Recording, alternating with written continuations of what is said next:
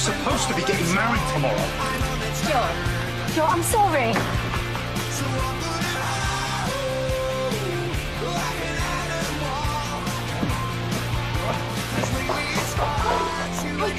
Listen, I need a favour. Well, that's it then. We can't get married. What's that happening?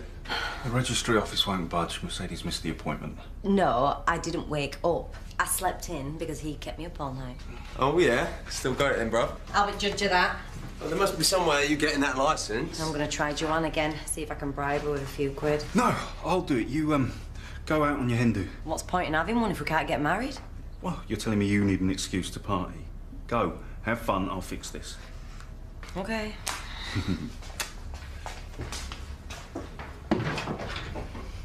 What are you gonna do?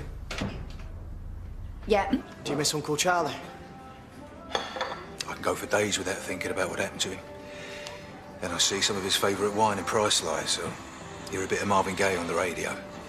It all comes flooding back. I'm sorry I didn't visit. Must have been awful, especially after losing Will. Hopefully I can make it up to you now. It's just nice to have some family around me again. So, fancy the grand tour of Hollyoaks then? I thought your mum was showing him around. Oh, she's got an emergency appointment with some gel nails. Typical. You know, I join here, but me and Hilton are seeing the doctor about his rash. Anyway, have fun, you two. Nice one. As much as I love Uncle Dirk, his tour of Hollyoaks would have sent me right to sleep. No, it's cool. I mean, I've got the whole day off uni, so I'm all yours. I mean, I- I've got no plans. Well, you have now. Lead the way. You have no idea how much you mean to me. I can take a pretty good guess. I'm so glad we've sorted everything out. Look, why don't I come over after Joe Stag? I'd love that. It's just... House a bit busy, though. I'll come to mine then. I'll, I'll take you after work, you know. Just might be a bit tired.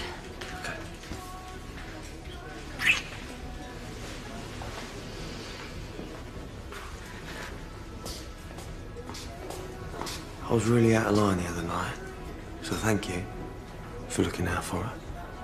No worries. I'll get the drinks in. You grab the dartboard. You know how I work here really, really hard, and last Saturday I stayed extra for two hours. You've already been paid. I know, but it's Mercedes hen do, and well, I was just thinking, it was my auntie Myra. Really, I would never normally ask, but Take as much as you want, just wine and beer only, the air. Really, oh, buzzing. Thanks. That was kind of you. Well, I do have my moments. What can I get you? Hmm? Getting to know each other, are we? I'm just showing Nick around the village. Hmm. I am getting a vibe from him, though. Well, I wasn't until we saw her. Oh no, she's obviously back with Freddie. I saw them kissing. Is she? Yeah. I do really like him. Well, then go for it. I don't like the fact that he's practically family stalking. Shut up. Oh. Stop looking. I'm not sure what else I can do for you. Well, there must be some sort of emergency paperwork. This kind of thing must happen all the time. It doesn't, Joe. That's the point. Getting married is a lifelong commitment. It shouldn't be a last minute decision. It isn't. I want Mercedes to be my wife. Doesn't the fact that she slept through the first appointment tell you something? This could be fate intervening, a lucky escape. And what's that supposed to mean? She's doing a very good impression of being a loving fiancée. Do you really know her? She is the woman I've chosen to spend the rest of my life with. But she's never going to change. When I saw you two together yesterday, I knew I couldn't let you make such a dreadful mistake. You couldn't let me. I need to get back to work. Uh, uh, wait. You got that license, didn't you? Don't be ridiculous. Just let me go. No. Not until you hand it over. Now.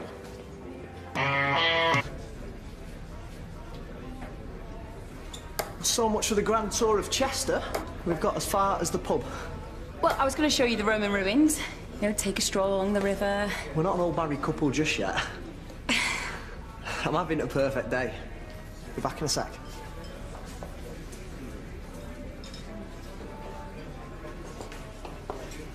Not got any lectures? Oh, I've got loads of free time. It's really cool being a student. Is this a bit weird for you? What? Me being here with Nick. You know, after you two. Uh, nothing happened. Are you asking if I'm jealous? No, I just don't want to tread on your toes. Oh, suddenly now she has morals. I couldn't care less about your love life. He was all over me like a rash, and now he's all over you. It's just typical bloke. Well, if you're not bothered, then why'd you keep looking at us? Oh, I'm not. He's just. How would you actually know him?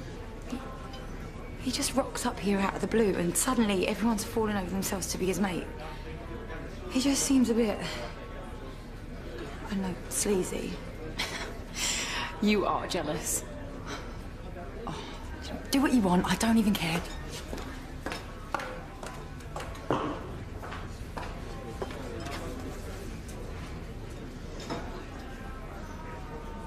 So you got it off her then? Of course, I just told Mercedes I've got a last minute appointment. Hey, you're far too forgiving for your own good, and Joanne's crazier than I thought. No, I just want everything to run smoothly tomorrow, you know? Hey, you got your speech ready? Yeah, I was thinking, you know, maybe Mercedes has been waiting for me to come along all her life. the arrogance. What, you reckon you saved her from herself?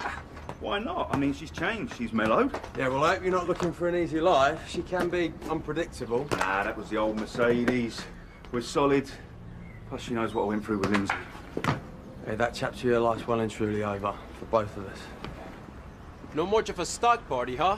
I was all alone in the van. I thought I'd come and say welcome to the family. Hey, it's all right, it's all right.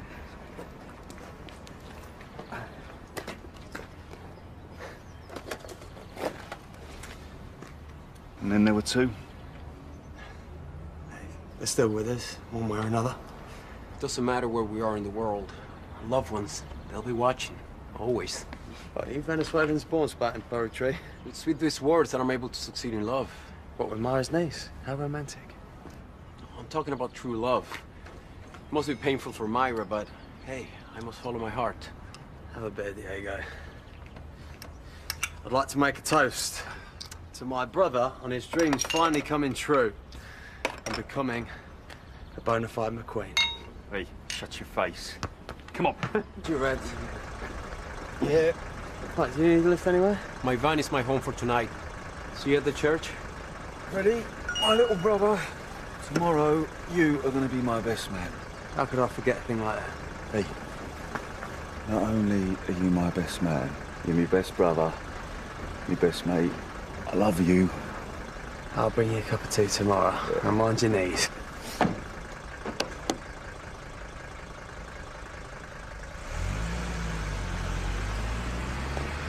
Um, you didn't reply to my text. Oh, I'm sorry. Things got a bit melancholy talking about Zig.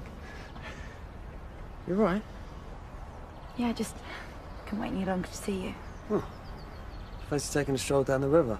Got a couple of hours before I need to be tucked up in bed. Big day tomorrow.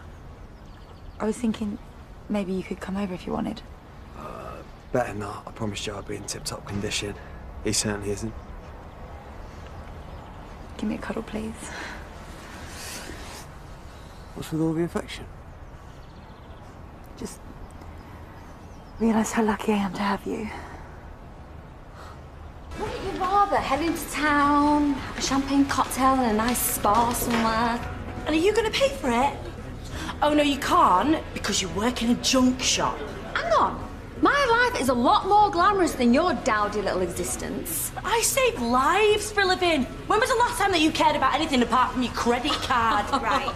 No fighting. This is supposed to be a party. Yeah, don't argue on the hen do. What kind of do is this anyway? A drink in the local pub, forced to being seen with her in this tacky, horrendous outfit. I have had enough of your gob. You are a gold-digging, shallow, brainless little tramp. Or you are a washed-out, sour-faced baby stealer. Oh, oh, oh get off me! You! Oh, going out, this is embarrassing! Take it from it!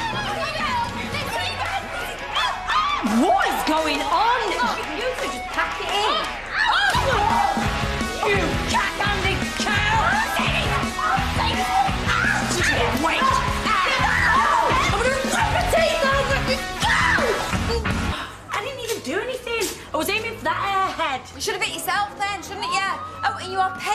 This dress. The only thing you're going to find in here is tissues, keys, and half a packet of chewing gum. Can hardly do any damage with that.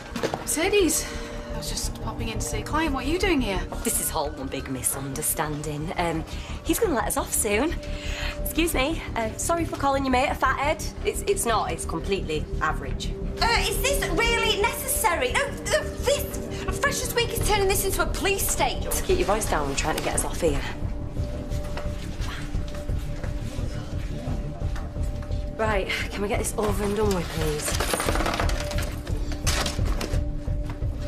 Is that cocaine? Oh, no. That is not mine.